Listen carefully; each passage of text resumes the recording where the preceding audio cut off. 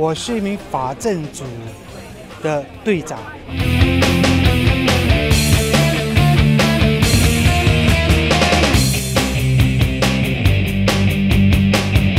这个队长呢是不用跑、不用拿枪、不用追贼的，就是说事情发生了，这个队长要去那边看，嗯，到底发生什么事啊？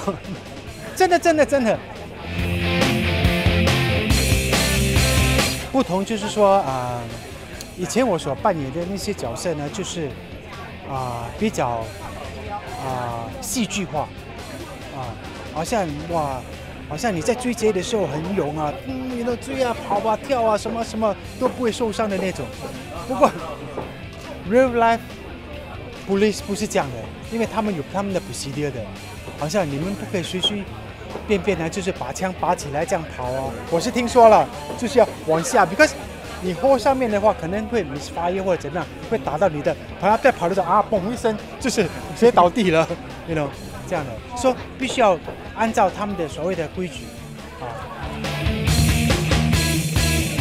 啊，这个角色当然需要看他们会给我们怎么样的一个一个一个一个角色去发挥，当然也要按照他们的那些所谓的刚才老师说的他们的步骤去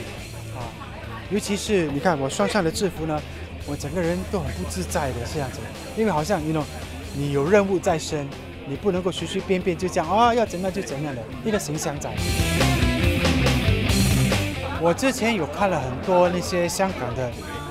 啊、警察护士，不过他们 of course 啊，因为在他们的环境之下，他们穿的真的是比我们帅多了，因为他们都有大衣啊，you know 那种啊帅气啊，因为那边的气候适合，我们这边呢根本是